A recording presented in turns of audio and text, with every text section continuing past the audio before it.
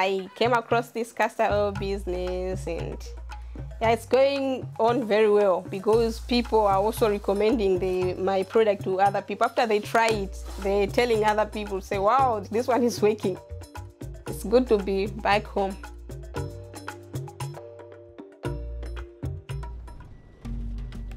My cousin, she went to South Africa, so I could see that her life was different from how she was here. So I was attracted. I said maybe if I go there, the pasture is greener there that side. So I said let me try.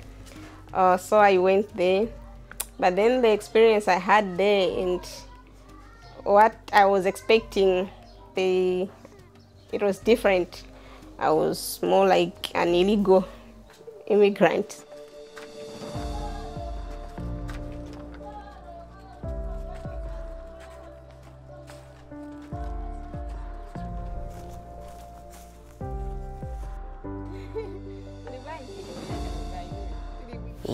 Mene unde ndinasangalala sikuti sine zinandinyasa ndipo ine zinandikonda chifukwa chikuti ndamuona mwananga ali ndimono etu poyamba mmene amachoka kuno anali wathanzi mmene analili koma atapita ku south africa pobwera pena pakebe anali eyayi zosachita bwino. Koma panopo eh, akuoneka ndi wathanzi chithafu.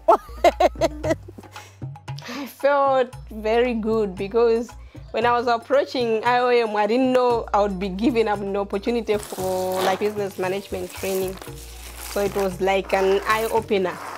That's where I started uh, hearing about value addition and all that, and how we manage our finances. Like mm, we don't mix business money from personal money. We are not supposed to do that, and we must keep records. Then they gave us the capital for our businesses, the first tranche, and then after a few months, we were given another second tranche of the money.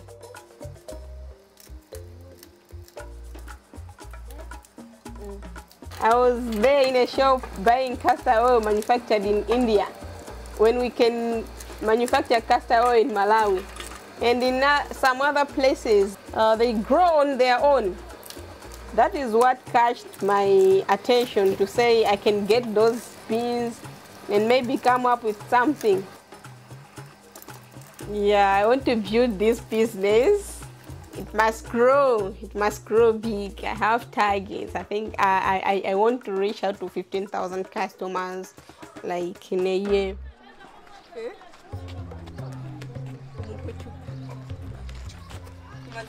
I've learned a lot from the business. And with the experience that I have, I have potential for growth.